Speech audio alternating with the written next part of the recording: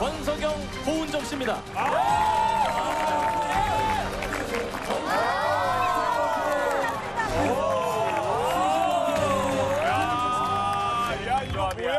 자, 저희가 시즌 1에서는 볼 수 없었던 새로운 조합입니다. 흉스프레스의 권석영 씨와 포르테 디과드로의 고은정 씨가 만났습니다. 좋아 좋아.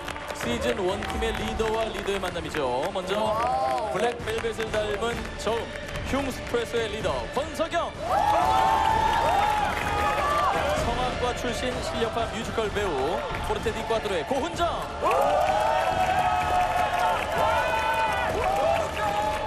자, 우리 두 리더의 만남입니다. 듬직합니다. 야 이거 대박인데?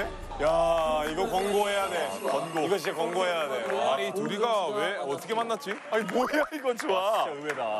아니 저 센 사람 둘이서 무슨 노래 부를까? 아, 두 분 인사 준비됐으면 인사해 주시죠. 네, 벼랑 끝에 선 두 남자. 우리에겐 잭슨뿐이다. 안녕하세요, 얘는 루어버요! 루어버요!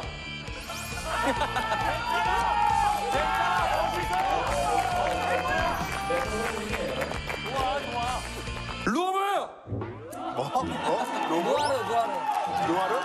뭐야 이게 로로? 루오모 루오모? 루오모 루오모 루오모.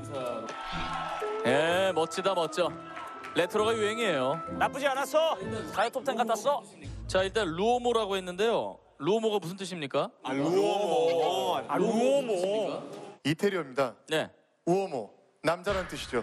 아, 남자군요, 그냥. 네, the man이란 뜻이고요. the 어. 크게 해석하자면은 네네. mankind 인류란 뜻입니다. 인간 네. 인간의 본질을 담아서 노래를 하겠다는 뜻이죠. 팀 이름이 인간이에요. 팀 이름이 인간이에요. 남자라고 봐주면 됩니다. 인간들은 내 노래를 들어라 이런 느낌이네. 아, 그러니까 예. 남자라고 봐주면 됩니다. 예. 진짜 멋있다. 가자 인간. 저 인간에서 뭘 맡고 있습니까? 저는 인을 맡고 있습니다. 아, 그래요? 와. 고은정 씨는 당연히 간이겠죠, 네. 아, 어, 간을 맡고 있군요.